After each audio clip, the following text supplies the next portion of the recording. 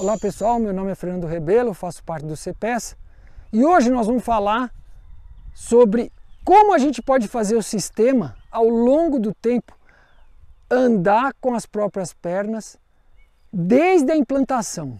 Por exemplo, aqui nós começamos num pasto abandonado, é, vocês podem ver aí é uma área que foi por muito tempo gado e agora já é um pasto degradado. Então nós trouxemos material de fora, porque roçamos, ó, isso aqui é o capim que nós roçamos, é pouco, não é suficiente para cobrir os canteiros. Então nós trituramos madeira e estabelecemos aqui os canteiros.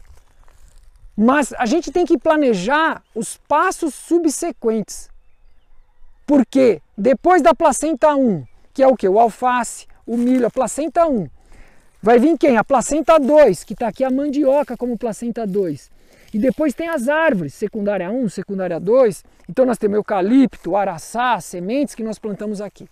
Mas depois da placenta 1, até dois anos, até a placenta 2, se a gente não planejar, esse material vai ser degradado, vai sumir e vai ficar solo nu. Quem vai cobrir agora as linhas de árvore?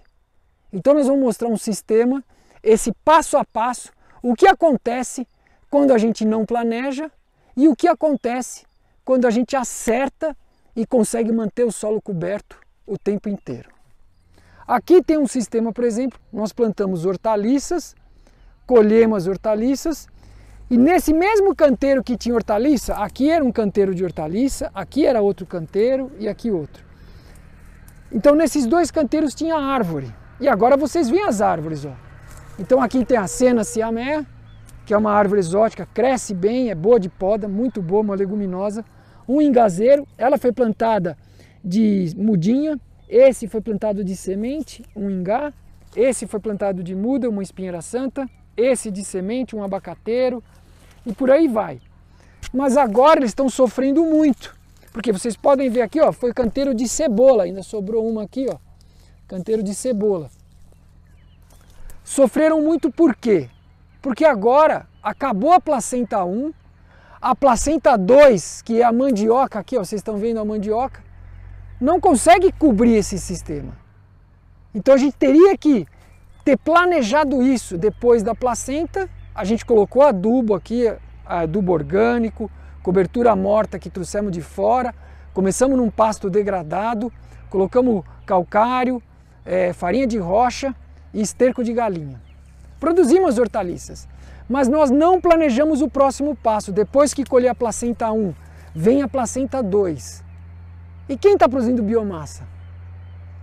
Então, se a gente tivesse plantado aqui uma fila de margaridão e agora podando ele e jogando para cá, o efeito é completamente outro e é isso que nós vamos mostrar para vocês agora. Aqui nós temos um sistema que deu um outro efeito. Nós fizemos isso. Aqui nós plantamos as hortaliças, agora vocês estão vendo a placenta 2, que é a mandioca. Aqui tem uma mutamba que está crescendo embaixo dela. Ó. Era uma mutamba que foi plantada de tubete, né? Nessa outra mandioca tem um araçá crescendo, ele foi plantado também de tubete. Aqui, essa erva vai sair na capina seletiva. Aqui tem a mirindiba que foi de semente. Esse canteiro agora aqui, que foi hortaliça, está sendo alimentado agora por esse canteiro que nós não lavramos a terra aqui. A gente simplesmente roçou o pasto degradado, abriu um pequeno bercinho e colocou esterco para crescer capim elefante e margaridão. Então vocês percebem que é um canteiro de capim elefante e margaridão, um canteiro de hortaliça e árvores, um canteiro de capim elefante e margaridão, um canteiro de hortaliça e árvores. E aqui vocês podem ver, está maravilhoso. A gente tinha plantado aqui a clitória para produzir aqui uma florzinha que é medicinal, por isso que usamos esses barbantes. Mas olha aqui o pelita, como está bonito. Ó. Eucalipto pelita e as outras árvores também plantadas com ele. E a gente poda isso, como vocês podem ver aqui. Ó. Por enquanto a gente não usou a roçadeira, mas pode ser até de roçadeira aqui. Então aqui nós roçamos agora com o cutelo, que é esse ferro de arroz aqui, né? A gente chama de cutelo. Usa uma luva e manejamos agora. Mas no começo as árvores estão pequenas aqui, você tem que primeiro fazer uma capina seletiva e pode usar a roçadeira. Essa água vai sair, porque a gente já colheu as hortaliças. Agora vai ser só água da chuva. Então, vocês podem ver aqui, ó, o que está crescendo, onde foi hortaliça. Aqui é o resto de rúcula, que também vai sair, resto de rúcula, as pimentas que já produziram. E está nascendo o que aqui? Ó? Lixia de semente, abacate de semente, baru de semente. Esse aqui foi de tubete, uma árvore preciosa, muito preciosa, madeira nobre, jacarandá da Bahia. Com essa madeira se faz arco de violino, uma madeira muito nobre. Aí ingá crescendo, manga de semente. Então, araçá, é um araçá nativo aí do Cerrado. A gente comprou em Minas, é semente nossa isso aqui, fizemos no tubete e está super vigoroso. E agora estamos na placenta 2, a cássia manjo, de, de plantinha, de mudinha também, cresce super bem aqui. Então olha o vigor desse sistema e olha o verde que ele está agora. Nós manejamos essa entrelinha aqui, que foi um canteiro só de margaridão e capim-elefante. E agora esse sistema vai sustentar as linhas de árvore, porque agora a gente roça esse material e olha solo coberto, alimentando as mangas, a caciamanjo, o araçá, a lixia, o abacate, a jaca, os eucaliptos, tudo que nós plantamos.